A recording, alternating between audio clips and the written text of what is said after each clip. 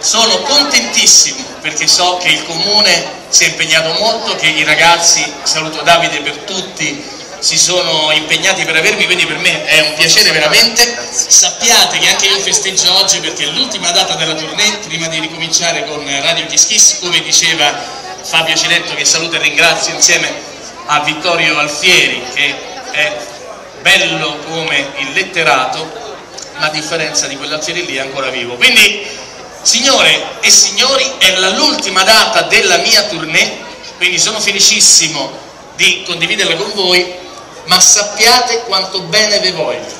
Voi avete un'idea di quanto scaramantico possa essere un artista?